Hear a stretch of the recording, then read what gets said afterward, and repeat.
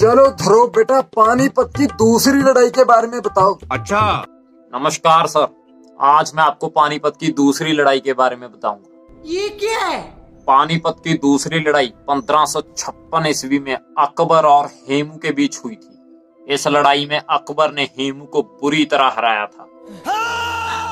Sir आज की हमारी इस वीडियो के स्पॉन्सर हैं सरसों का तेल।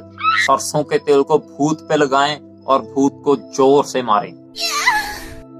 सर अगर आपको पानीपत की तीसरी लड़ाई के बारे में जानना है तो इसके ऊपर मैंने ऑलरेडी एक वीडियो डिटेल में बनाया हुआ है। अगर आपको वीडियो देखनी है तो उसका लिंक मैं डिस्क्रिप्शन में दे दूँगा।